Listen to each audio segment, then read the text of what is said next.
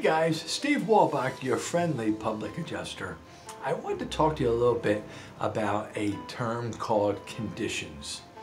Conditions is a section that is found within the homeowner's policy and unfortunately that's one of the things that sort of null and voids coverage of the policy.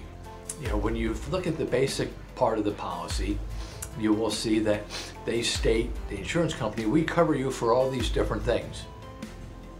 Now you have to go to the conditions and see how it happened or where it happened and will that be covered or not because of the conditions. Now also, sometimes coverage is actually provided through a condition as well.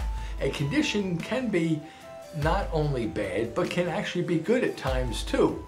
Unfortunately, I think that overall, the majority of the time, it is going to be not so favorable a condition against the homeowner. But there are times, like I say, that actually then provide you uh, with coverage because it was listed in the conditions. Now, as they say, the, that is in the main part of the policy. Normally, as a public adjuster, we are using the, um, excuse me, declaration page to uh, come up with the level of coverage initially and then we, we delve further into it. So the declaration page is the first section of the policy and that's the one that constantly changes over the years. That's the one that's sent to you and, and renewed around the anniversary date. Uh, the basic part of the policy pretty much remains the same, but any changes made to it would be noted on that declaration page. And there you look at the declaration page and you see that, and then you have to go to the main part of the policy and you find that section where now it has been amended by the declaration page.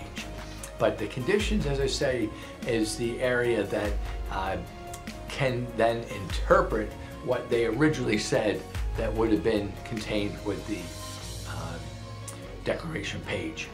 So be very, very careful. Conditions are very important and create some real headaches and take away some opportunity sometimes for a homeowner to recover on a loss they've sustained because of what it states in the condition section. Very important. Uh, guys, I hope that you found that informative. Um, I hope that uh, you will share this. If you liked what you heard, would you give me one of these, please? And of course, would you share this with others?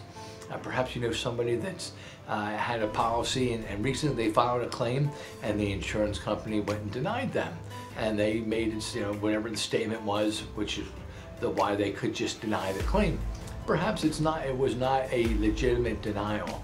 Let us come and take a look at things and we might be able to find some point in the conditions that would allow us to actually get coverage and therefore uh, represent them and get a positive result.